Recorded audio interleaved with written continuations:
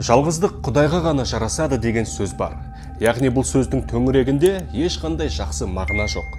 Жалғыздық бақытсыздықтың синонимі іспеттес. Десек те жұрттан безіп дарашылдануды қалыпты көретін жандар аз емес.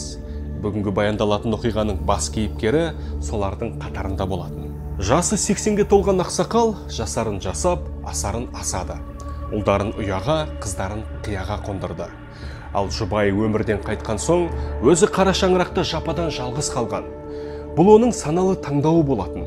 Алайда бұл таңдау оның жеке қасіретінің салдары ғана. Бұл 138-ші қылмыстық іс. Алматы.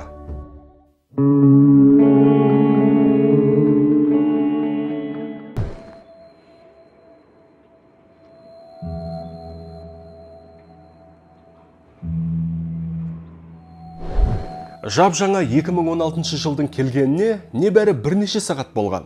Мәз мейрам халық әлі де тойлатып жан жақтан от шашулар атылып жатыр. Ал ауада мерекелік жарылғыштардың иісі мүңкіп тұр. Бала шаға шартылдақтарын жарып асыр салып жүрсе ересектер бірін бірі құттықтап үйден үйге кіріп тойлап жатыр. Десек те тойлатып жүрген тұрғындар бір жайттан елең ете қалғаны бар. Көршілес тұрған үй лапылдап жанып жатыр.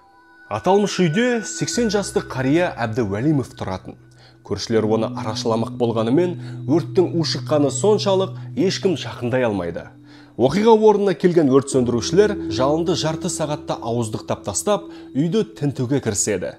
Нәтижесінде бәрінің қорқынышты күдігі расталып гараждан жартылай өртеніп кеткен адамның мәйіті табылды. Сондықтан ережеге сәйкес оқиға орнына полиция жедел тобы шақырылды. Марқұм үй қожайыны 80 жасты әбді уәлимов екені анықталды. Мұны оқиға орнына келген оның ұлдары да растайды. Барлық нышандар жазатайымды меңзеп тұр. Жаңа жыл болғандықтан атылып жатқан отшашулардың бірі үйдің шатырына түсіп өртке ұласып кеткен болар. Алайда өрт сөндірушілер бұл тұжырымды бірден жоққа шығарды. Себебі үйден жанармайдың иісі шығып тұр. Ал мәйітті қараған сақшылар марқұмның басынан ауыр жарақаттардың ізін анықтады. Яғни жалғызбасты қарияны өлтіріп үйін қасақана өртеп жіберген болып тұр. Сақшыларда енді келесі тұжырым пайда болды. Бәлкім марқұмды бөтелкелесу өлтірген болар. Жаңа жылды тойлатудың арты жанжалға ұласқан шығар. Бірақ үйден ешқандай тойлатудың іздері табылған жоқ. Яғни дастархан жайылмаған бірде бір алкогольдік сусын табылған жоқ. Тіпті бос бөтелкесі де. Оған қоса ұлдары мен көршілері марқұмның ішпейтінін айтып отыр. Айтуларынша қыңыр мінезді марқұм қонаққа да бармайтын және ешкімді қонаққа шақырмайтын. Үй толығымен өртеніп кеткендіктен қылмыстың себебін айқындау қиын болып тұр. Егер қылмыс ұрлық мақсатында болса ненің ұрланғанын анықтау мүмкін емес. Десек те сақшылар жеке мотивтерді де ысырған жоқ. Себебі көп жағдайда қаншер алыстан келмейді. Күдікке марқұмның ұлдары ілікті.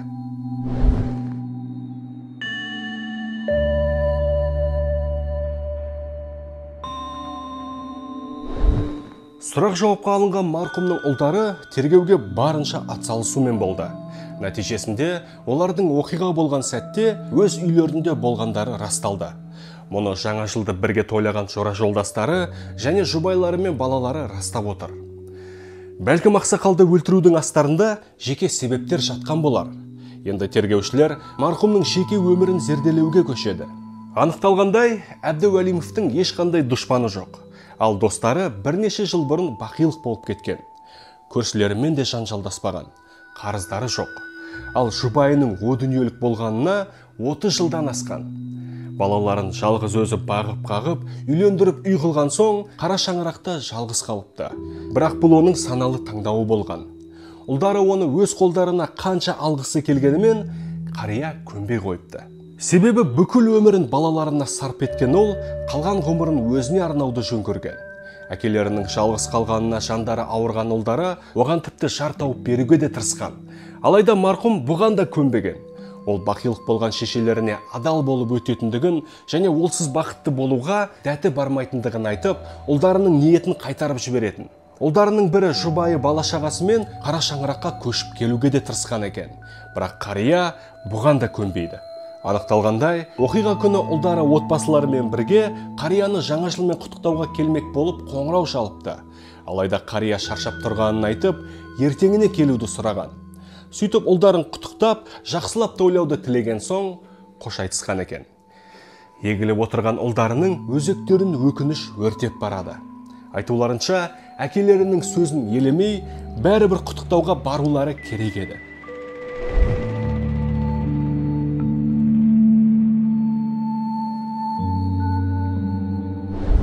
Қайғыдан қабырғалары қайысқан ұлдары кенеттен әкелерінің жигули көлігінің бар болғанын айтады. Алайда оқиға орнында ешқандай көлік табылған жоқ. Яғни оны қанішер айдап кеткен болуы керек. Тергеушілер дереу куәгерлер іздеуге көшеді. Алайда мейраммен әлек болған көршілердің ешбірі жигули көлігінің өткенін байқамаған десек те оқиға орын алған қазақстандық деп аталатын көшенің басында орналасқан үйлердің бірінде бейнебақылау камерасы орнатылған болып шықты. Сақшылар дереу камераға таспаланған видеоны шолып марқұмның көлігін анықтайды. Алайда бейне сапасы нашар болғандықтан көлікті тізгіндеген адамды тану мүмкін емес. Нәтижесінде қаланың барлық сақшыларына бағыттамалар жіберіліп көлік іздеуге салынды.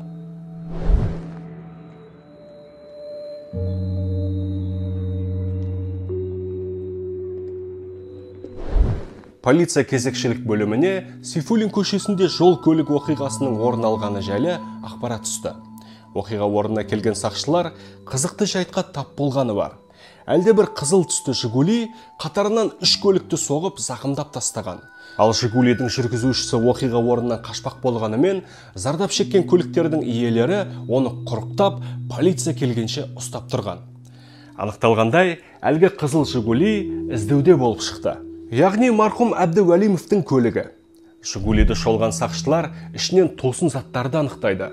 Көліктен электр арасы электр бұрғы төсек жабдықтары бірнеше былғары күртеше және аңшылық мылтық табылды. Сондай ақ көліктің қобдишасынан 15 мың ақш доллары анықталған. Ал рульді тізгіндеген адам масаң болып шықты. Көлікте табылған бос шөлмектерге қарағанда сыра ішкенге ұқсайды. Сақшыларға оның жеке басын анықтау қиынға соқпады. Ол 37 жасты тейфур шакиров. Бұрын соңды ұрлық үшін сотталған адам. Десек те шакиров көлікте табылған заттардың төркінін оңай түсіндіре кетті айтуынша аталмыш заттар мен ақшаны жолаушыларының бірі кездейсоқ тастап кеткен көрінеді ал көлікті марқұмның рұқсатымен айдап кеткен екен себебі ол марқұмның көршісі болатын Кто, кто с тобой был вместе? В машине кто был? Смотри, Он- там он- он он- вышел. Куда вышел? Вышел на на Белинского. Как его звать? Да. Подробности. Подробности. Я не знаю его. Ну, кто он? Все. Казах русский. Как звать? Русский. Русский? Да. Какого возраста приблизительно? Где-то 77-го года. әрине мұның сандырақ екені түсінікті себебі бір жолаушының электр арасы мен бұрғыны төсек жабдықтарын киім және 15 мың долларды тастап кетуі таңғажайып дүние бірақ шакировтың сөзінен таятын түрі жоқ. Ол бөлімшеге жеткізіліп мұқият жауапқа алына бастады. Бірақ шакиров бастапқыда берген жауаптарын қайталаумен әлек. Табылған заттар әлдебір жолаушынікі. Ал көлікті рұқсатпен айдап кеткен. Десек те көлікте табылған мылтық марқұмға тиесілі екені анықталған соң әлдебір жолаушы жайлы сандырағының орынсыз екенін ұққан шакиров мойындау жауаптарын бере бастайды.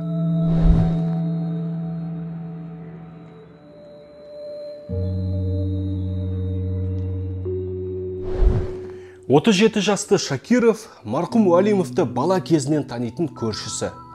Тұрақты жұмысы болмағандықтан тиіп қашып әртүрлі жалдамалы жұмыс жасап күнелтетін жасы қырыққа таяп қалғанымен үйленбеген анасымен бірге тұратын. Ұрлық жасап бірнеше рет істі болған екен. Десек те дәнекерлеуші яғни сварщик мамандығын меңгеріп соңғы күндері осы қызметпен нәпақа тауып жүрген. Алайда ақша құрғыр әрдайым тапшы. Ал жұмыс бірде бар бірде жоқ. Жұмыс табылғанның өзінде оны көбінесе көрші тұратын сыныптастары шақырып жалдайтын. Кезінде тең болып өскен құрдастары қазір үйлі баранды отбасылы астарында көліктері бар. Өмірде орындарын тапқан. Ал шакиров болса азын аулақ ақша үшін оларға жұмыс жасап жүр. Бұл жайт оның шамына қатты тиетін. Бірақ амал нешік? Ақша табу керек. Ал жаңа жылға бірнеше күн қалды.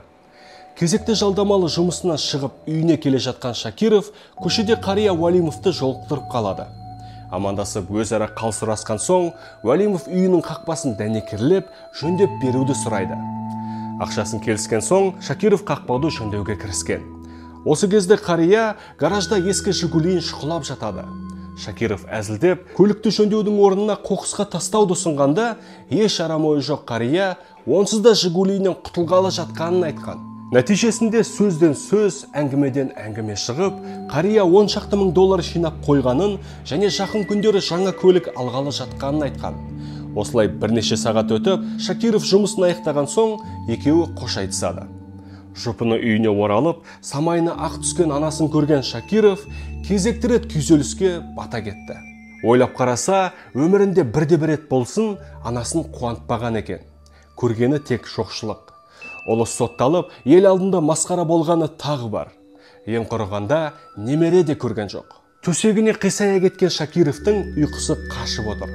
Ойлағаны әлгі көрші қария жинап қойған 10 мың доллары.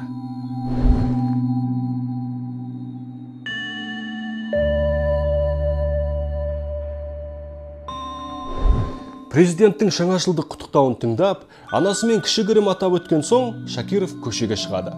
Сайран салған көршілер бала шағасымен от шашулар атып тойлатып жатыр. Алайда шакировтың мақсаты көршілер атқан от шашуларға қарау емес.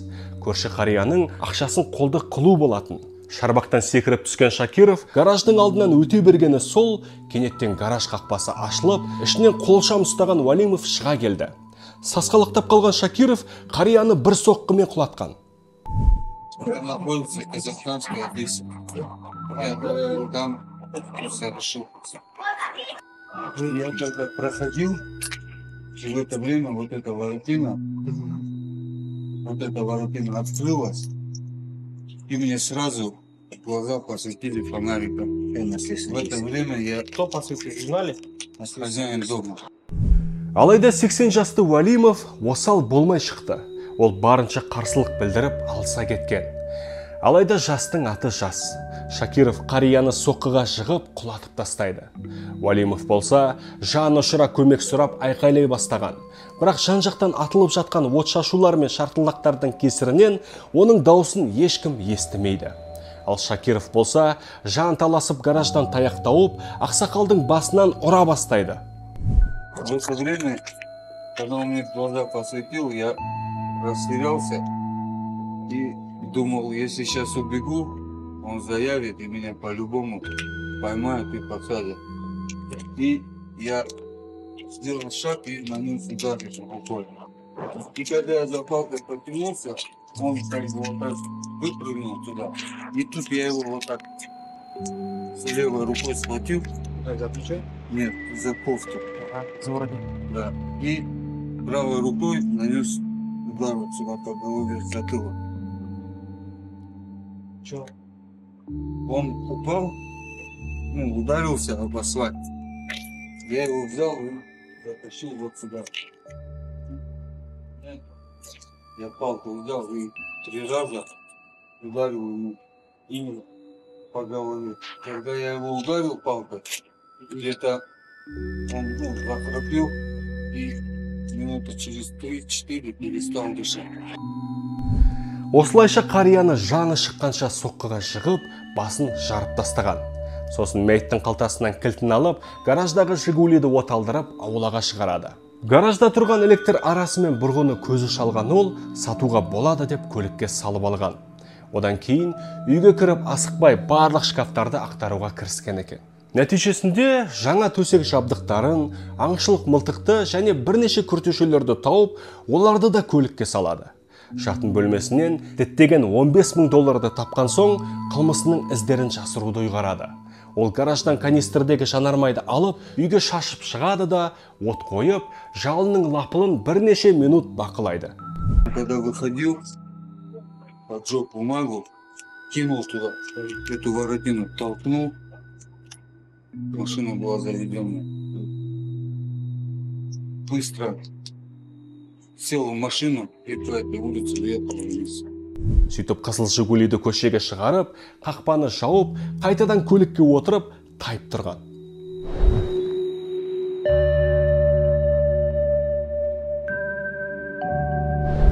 Тергеу барысында жүрек жарды мойындауын берген шакиров сот барысында жауаптарынан бас тартып шыға келді.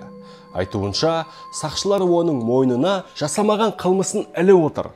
Сондай ақ азаптауларға тап болғанын айтып шағымдана бастайды. Одан кейін қанішерді көргенін айтып өзін куәгер ретінде тануды сұрай бастаған. Бірақ мұның бәрі тығырыққа тірелген бейбақтың сандырағы екені айдан анық болды. Себебі барлық дәйек заттардан оның саусақ іздері табылып отыр. Оған қоса мойындау жауаптары да бар. Сот шешімімен 37 жасты тейфур шакиров 17 жылға қамалды. Әрине шакировтың өзегін өртеген уайымын түсінуге болады. Себебі бәріміз жақындарымызды қуантып ата анамыздың мақтанышы болғымыз келеді. Бірақ өмірдің бәріне мұндай мүмкіндікті бере бермейтіні бар. Ұлының игі ниеті үшін қанды жол таңдауына анасының да кінәсі бар шығар. Кім біледі? Абай болайық.